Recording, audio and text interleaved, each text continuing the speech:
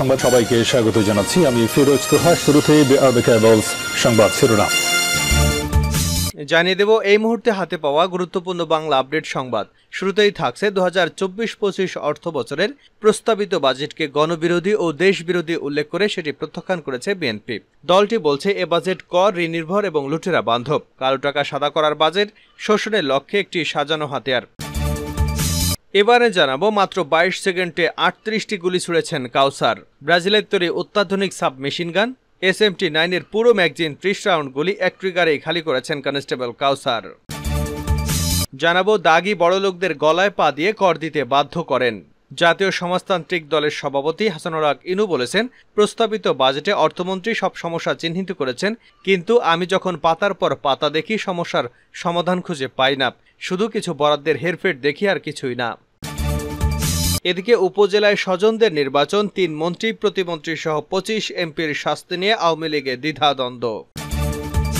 এবারে থাকছে ঘূর্ণিঝড় রেমালে, ক্ষতিগ্রস্ত মানুষের মাঝে ত্রাণ বিতরণ করছে বাংলাদেশ কৃষক লীগ। রোববার বরগুনার আমতলী, পটুয়াখালীর কলাপাড়া এবং মহিরপুর সহ ঘূর্ণিঝড় রেমালের আঘাতে ক্ষতিগ্রস্ত বিভিন্ন এলাকায় ত্রাণ সামগ্রী বিতরণ করা হয়। এবং সর্বশেষ জানাব আন্তর্জাতিক সংবাদ, ফিলিস্তিনিদের সঙ্গে চরম বেইমানি জো বাইডেনের। ফিলিস্তিনিদের জন্য ত্রাণ পৌঁছে দেওয়ার কথা বলে ভাসমান বন্দর তৈরি করেছিল যুক্তরাষ্ট্র। কিন্তু শোনা যাচ্ছে ফিলিস্তিনিদের সঙ্গে বেইমানি করেছে ওয়াশিংটন প্রশাসন। জানা গেছে, চারজন জিম্মিকে উদ্ধারে শনিবার গাজায় যে অভিযান চালিয়েছে ইসরায়েলি বাহিনী, তাতে ওই ভাসমান বন্দর ব্যবহার করা হয়েছে। এমন খবর সামনে আসায় তোলপাড় শুরু হয়েছে। ইসরায়েলি অভিযানের ফুটেজ প্রকাশের পর সে খবরের সত্য প্রমাণ মিলেছে। এতক্ষণ শিরোনাম শুনছিলেন এবার বিস্তারিত। প্রিয় দর্শক, আপনি যদি এই চ্যানেলে নতুন হয়ে থাকেন, ভিডিওটি দেখতে দেখতে চ্যানেলটি সাবস্ক্রাইব করে আমাদের সঙ্গেই থাকুন। আর এই ভিডিও সম্পর্কে আপনি আপনার মূল্যবান মতামতটি কমেন্ট বক্সে জানিয়ে দিন। আর হ্যাঁ প্রিয় দর্শক, জানিয়ে দিন ভিডিওটি কোথা থেকে দেখছেন। এ বাজেট কর ঋণ নির্ভর লুটেরা বান্ধব বিএনপি। দু হাজার চব্বিশ পঁচিশ অর্থ বছরের প্রস্তাবিত বাজেটকে গণবিরোধী ও দেশ বিরোধী উল্লেখ করে সেটি প্রত্যাখ্যান করেছে বিএনপি। দলটি বলছে, এ বাজেট কর ঋণ নির্ভর ও লুটেরা বান্ধব। কালো টাকা সাদা করার বাজেট শোষণের লক্ষ্যে একটি সাজানো হাতিয়ার। রূপবাল গুলশানে বিএনপি চেয়ারপারসনের রাজনৈতিক কার্যালয়ে আয়োজিত এক সংবাদ সম্মেলনে দলটির মহাসচিব মির্জা ফখরুল ইসলাম আলমগীর এমন অভিযোগ করেন। প্রস্তাবিত বাজেট নিয়ে বিএনপির আনুষ্ঠানিক প্রতিক্রিয়া জানাতে সংবাদ সম্মেলনের আয়োজন করা হয়। এই বাজেটকে কল্পনার ফানুষ উল্লেখ করে বিএনপি বলছে, পুরো বাজেট করা হয়েছে মেগা প্রকল্প, মেগা চুরির জন্য।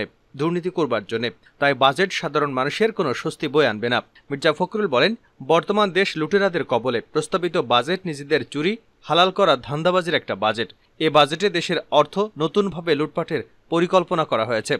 আয়ের চেয়ে ব্যয় ধরা হয়েছে অনেক বেশি, অথচ পুরো বোঝাটা চাপিয়ে দেওয়া হয়েছে সাধারণ মানুষের ওপর। ঋণ ঘাটতির বড় বাজেট অতীতে বাস্তবায়ন সম্ভব হয়নি, আগামীতেও হবে না। তিনি বলেন, এবছর আগের বারো বিলিয়ন ডলারের অভ্যন্তরীণ আন্তর্জাতিক ঋণের সুদ পরিশোধ করতে হবে। এ বাজেট আসলে শূন্যের উপর দাঁড়িয়ে আছে। সাত লাখ সাতানব্বই হাজার কোটি টাকার মধ্যে দু লাখ ছাপ্পান্ন হাজার কোটি ঘাটতি, অর্থাৎ বাজেটের এক তৃতীয়াংশ ঘাটতি, যা মেটানোর প্রস্তাব করা হয়েছে অভ্যন্তরীণ দেড় কোটি এবং বৈদেশিক এক কোটি টাকা ঋণ নিয়ে ঋণ নিয়ে ঋণ পরিশোধের ফন্দি। এছাড়া দু লাখ পঁয়ষট্টি হাজার কোটি টাকার উন্নয়ন বাজেট সাতানব্বই শতাংশ অর্থই আনতে হবে ভিক্ষা করে। বাইশ সেকেন্ডে আটত্রিশ গুলি ছুড়েছে কাউসার। ব্রাজিলের তৈরি অত্যাধুনিক sub machine gun S M T নাইনের পুরো ম্যাগজিনের ত্রিশ রাউন্ড গুলি এক ট্রিগারেই খালি করেছেন কনস্টেবল কাউসার আলী। খালি ম্যাগজিন পাল্টে লোড করেন গুলি ভর্তি আরও একটি নতুন ম্যাগজিন। তা থেকেও প্রায় আট রাউন্ড গুলি করেন এলোপাথাড়ি মাত্র বাইশ সেকেন্ডের মধ্যেই আটত্রিশ রাউন্ড গুলি করে সব শেষ করেন কাউসার। সব ধরনের নৃশংসতাও যেন হার মানে তার কাছে।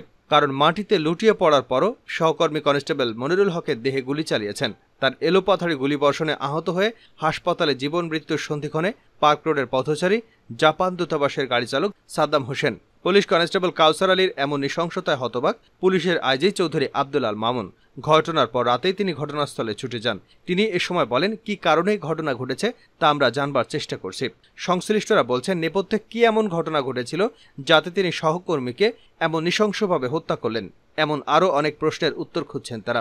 ডিএমপি জানিয়েছে তর্কাতর্কির এক পর্যায়ে উত্তেজিত হয়ে কনস্টেবল কাউসার তার সহকর্মীর মনিরুলকে গুলি করেন। অন্যদিকে নৃশংস এই হত্যাকাণ্ডে গ্রেপ্তার কনস্টেবল কাউসারের পরিবারের সদস্যদের দাবি, চাকুরিরত অবস্থায় প্রায় চোদ্দ বছর ধরে মানসিক সমস্যা আক্রান্ত তিনি।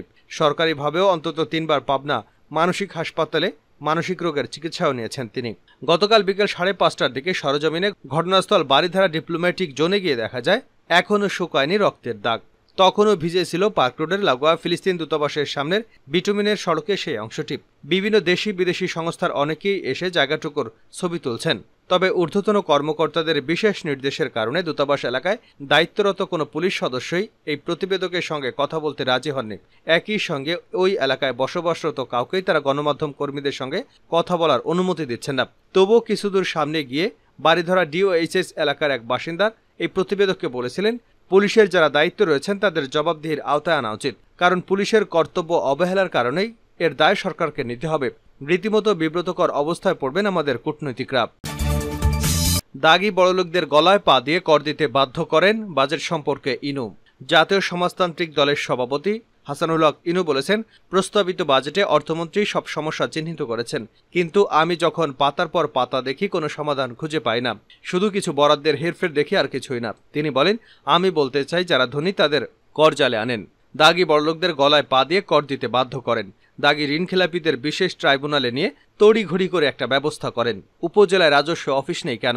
একটা ইউনিয়নে পাঁচটা গ্রোথ সেন্টার আছে। ইউনিয়নে যারা স্থায়ী দোকান নিয়ে ব্যবসা করেন, তাদের করজালে আনেন। সেখানে কোটি কোটি টাকা রাজস্ব বাড়াতে পারেন।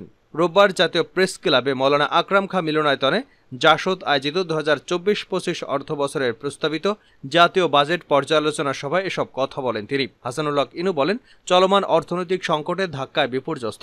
বাজারে নিত্যপণ্যের উচ্চমূল্য ডলার সংকট, সুদের হার বেশি, ব্যাংকে বিশৃঙ্খলা, রাজস্ব আনয়নে ধীরগতি, সবকিছু মিলিয়ে আমরা গভীর সংকটে আছি। অর্থনৈতিক ধাক্কা সামলানোর বাজেট আশা করেছিলাম। জাসদ সভাপতি বলেন এটা ছিল ধাক্কা সামলানোর বাজেট। এখানে যেমন এবার প্রবৃদ্ধি ধরেছে, এবার কি দরকার ছিল প্রবৃদ্ধি ধরার?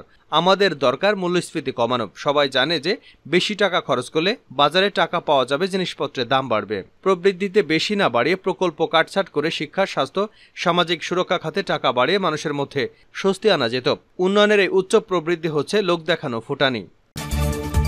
তিন মন্ত্রী প্রতিমন্ত্রী সহ পঁচিশ এমপির বিরুদ্ধে সাংগঠনিক শাস্তি নিয়ে আওয়ামী লীগ নেতারা দ্বিধাবিভক্ত। এই মন্ত্রী এবং এমপিদের স্বজনরা উপজেলা নির্বাচনে প্রার্থী হয়ে জয় পেয়েছেন। দলীয় সিদ্ধান্ত অনুযায়ী তাদের নির্বাচনে প্রার্থী হওয়ার সুযোগ ছিল না। দফায় দফায় হুঁশিয়ারি দিয়েও অনেক এমপি স্বজনকে নির্বাচন থেকে সরিয়ে রাখতে পারেনি দলের সাধারণ সম্পাদক এবং সড়ক পরিবহন ও সেতুমন্ত্রী ওবায়দুল কাদের। হাতে গোনা দু একজন এমপির স্বজন নির্বাচন থেকে সরে দাঁড়ান। এ নিয়ে দলে বড় ধরনের প্রতিক্রিয়া হয়েছে। তবে শীর্ষ নেতারা কেউ কেউ বলেছেন অপছন্দের প্রার্থীদেরকে ঠেকানোর জন্য দু একজন নীতি নির্ধারক নেতা শাস্তি দেওয়ার কথা বলছেন।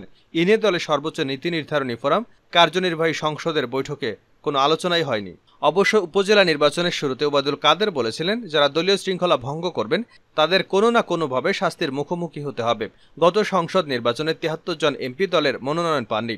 মন্ত্রিসভা থেকে বাদ পড়েছেন পঁচিশ জন। এ ব্যাপারে জানতে চাইলে নোয়াখালী জেলা আওয়ামী লীগের সাবেক সাধারণ সম্পাদক ও নোয়াখালী চার আসনের এমপি একরামুল চৌধুরী বলেন, আমি আর নির্বাচনই করব না। চারবার এমপি হয়েছি, আমার আর এমপি হওয়ার দরকার নেই। তবে প্রধানমন্ত্রী শেখ হাসিনাকে আমি নেতা মানি। তার সিদ্ধান্ত অবশ্যই মেনে নেব এছাড়া অন্য কারও সিদ্ধান্ত মানব না। ইকরামুল চৌধুরীর ছেলে আথার ইশাক শাবাব চৌধুরী নোয়াখালী সুবর্ণচর উপজেলার চেয়ারম্যান নির্বাচিত হয়েছেন। কৃষিমন্ত্রী উপাধ্যক্ষ ডক্টর আব্দুল শহীদের ভাই ইমতিয়াজ আহমেদ বুলবুল মৌলভীবাজার কমলগঞ্জ উপজেলায় নির্বাচন পদে জয় পেয়েছেন। এ নিয়ে তিনি স্থায়ী আওয়ামী লীগের নেতাকর্মীদের একটি অংশ ক্ষুব্ধ। আব্দুল শহীদ মৌলভীবাজার চার আসনে এমপি তিনি সমকালকে বলেছেন, অনেক হয়েছে। জনগণ আমাকে সাতবার নির্বাচিত করেছে, আর নির্বাচন করব না। সাংগঠনিক স্বাস্থ্যের বিষয়ে জানতে চাইলে কোনো মন্তব্য করতে চাননি আওয়ামী লীগের সভাপতি মণ্ডলীর সদস্য ডক্টর আব্দুর রাজ্জাক। তবে সভাপতি মণ্ডলীর আরেক সদস্য, রাজশাহীর mayor A H M Khairuzzaman Liton জানিয়েছেন, কার্যনির্বাহী সংসদের বৈঠকে এ নিয়ে আলোচনা হবে। এক্ষেত্রে আলোচিত এমপিদের সতর্ক করা হতে পারে। শেষ করছে আন্তর্জাতিক সংবাদ দিয়ে। ফিলিস্তিনিদের সঙ্গে চরম বেইমানি বাইডেনের। ফিলিস্তিনিদের ত্রাণ পৌঁছে দেওয়ার কথা বলে ভাসমান বন্দর তৈরি করেছিল যুক্তরাষ্ট্র। শোনা যাচ্ছে, ফিলিস্তিনিদের সঙ্গে বেইমানি করেছে ওয়াশিংটন প্রশাসন। জানা গেছে, চারজন জেমিকে উদ্ধারের শনিবার গাজায় যে অভিযান চালিয়েছে ইসরায়েলি বাহিনী তাতে ভাসমান বন্দর ব্যবহার করা হয়েছে। এমন খবর সামনে আসার পর তোড়জোড় শুরু হয়েছে। ইসরায়েলি অভিযানের ফুটেজ প্রকাশের পর সেই খবর সত্য বলে প্রমাণ হচ্ছে। প্রতিদিন বিশ লাখ মানুষের খাবার পৌঁছে দিতে গাজা উপকূলে এই ভাসমান বন্দর নির্মাণ করা হয়। এক হাজারের বেশি মার্কিন সেনা কাজ শেষ করে। যুক্তরাষ্ট্রভিত্তিক অখ্যাত একটি প্রতিষ্ঠান, ফগবো এই বন্দর ব্যবস্থাপনার দায়িত্বে রয়েছে। ফগবোর নেতৃত্বে রয়েছে যুক্তরাষ্ট্রের সামরিক বাহিনী ও কেন্দ্রীয় গোয়েন্দা সংস্থার দুজন সাবেক কর্মকর্তা। যুক্তরাষ্ট্র শুরু থেকেই বলে আসছে সেনার সদস্যরা বন্দর নির্মাণে কাজ করলেও তারা গাজার মাটিতে পা দেবেন না। তবে গাজায় শনিবারের অভিযান এক ভিন্ন বাস্তবতার মুখে দাঁড় করিয়েছে বিশ্ববাসীকে। যুক্তরাষ্ট্রের সহায়তায় ইসরায়েলি সেনাবাহিনী এই অভিযান চালায়। ইবিএস নিউজকে তথ্য নিশ্চিত করেছেন দুজন মার্কিন কর্মকর্তা। তবে একজন মার্কিন কর্মকর্তার দাবি, ওই অভিযানে যুক্তরাষ্ট্রের সামরিক বাহিনীর সদস্যরা অংশ নেয়নি। ইসরায়েলি বাহিনীর অভিযানে চারজন জিম্মিকে জীবিত উদ্ধার করা হয়েছে। একই সময় গাজায় ব্যাপক হামলা চালিয়ে দুশো জন ফিলিস্তিনিকে হত্যা করেছে ইসরায়েলি বাহিনী। সিবিএস নিউজ বলছে, শনিবার ওই অভিযানে ইসরায়েলকে গোয়েন্দা তথ্য দিয়ে সহায়তা করেছে যুক্তরাষ্ট্র। দুজন মার্কিন কর্মকর্তা এ বিষয়ে নিশ্চিত করেছেন, তবে অভিযানের স্পর্শকাতর বিস্তারিত তথ্য দেননি ওই কর্মকর্তারা। উদ্ধার অভিযানে ইসরায়েলের একজন কর্মকর্তা নিহত হয়েছে বলে জানিয়েছে ইসরায়েল। তবে সবকিছু ছাপিয়ে আলোচনায় অনলাইনে পড়া একটি ভিডিও। ওই ভিডিওতে দেখা যায়, সমুদ্র সৈকত থেকে উড্ডয়ন করছে আইডিএফের একটি হেলিকপ্টার আর পেছনে রয়েছে যুক্তরাষ্ট্রের তৈরি করা ভাসমান বন্দর। দুজন মার্কিন কর্মকর্তা সিবিএস নিউজকে বলেছেন আইডিএফ এর অভিযানে মার্কিন ভাসমান বন্দর ব্যবহার করা হয়নি। এই বন্দরটি কেবল মানবিক সহায়তা পৌঁছে দেওয়ার জন্যই তৈরি করা হয়েছে। মার্কিন কর্মকর্তা জানান, বন্দরে দক্ষিণ অংশে সৈকত এবং হেলিকপ্টার অবতরণ করেছে। তবে হেলিকপ্টারটি বন্দরের ঘেরদেও এলাকার বাইরে নেমেছে বলে জানান ওই কর্মকর্তা। পরে এক বিবৃতিতে ইউএস সেন্ট্রাল কমান্ডো সেন্টকম জানায়, জিম্মি উদ্ধারে বন্দর, অস্ত্রশস্ত্র সেনা সদস্য বা অন্য কিছুই ব্যবহার করা হয়নি। এদিকে জোর করে শর্ত চাপিয়ে দিয়ে ফিলিস্তিনি স্বাধীনতাকামী সংগঠন হামাসকে যুদ্ধবিরতিতে রাজি করাতে চাইছে যুক্তরাষ্ট্র ইসরায়েল। তাই যুদ্ধবিরতি নিয়ে কয়েক দফার আলোচনা হলেও প্রতিবারই তা ভেস্তে গেছে।